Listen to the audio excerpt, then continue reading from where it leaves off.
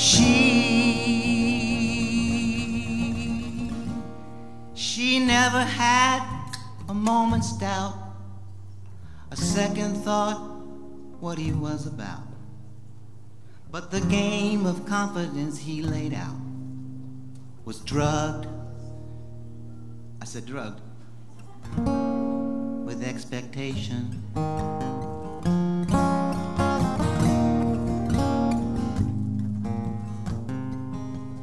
No coincidence, no happenstance.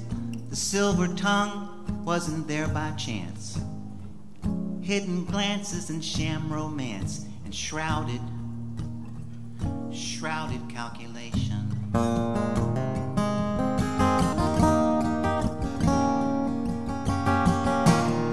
He made it all so possible to believe, but the perfect package was devised to deceive. His face never revealed what was being concealed. Every day, manipulation.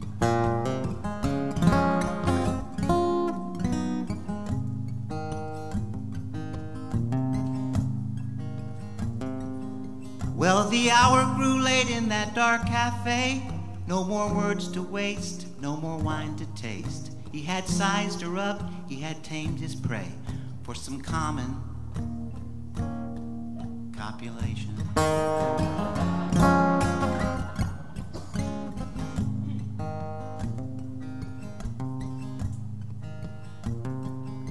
He knew a place nearby called the Jane Hotel. They took Horatio to West Street and he rang the bell. In the room, he grew convinced that her resistance fell. Cause every secret he was seeking, her body was eager to tell. He got drunk on all her passion and nodded off under her spell. He later woke up quite confused because he was all by himself. He looked around and saw the note that she had left upon the shelf. It read, Fare thee well, and fare thee well. It said the first was for goodbye, the other means I played you well. She had absconded with his gold watch and his alligator money belt. Cause every rapture knows some pain, and every heaven goes through hell. All alone there he felt beaten like a man in a cell, a man in humble, humble isolation.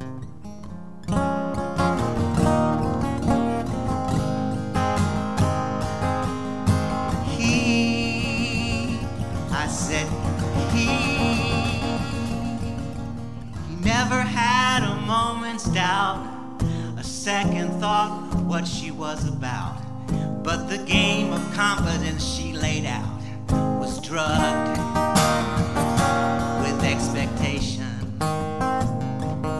She made it all so possible to believe, but the perfect package was designed to deceive. Her face never revealed what was being concealed every day.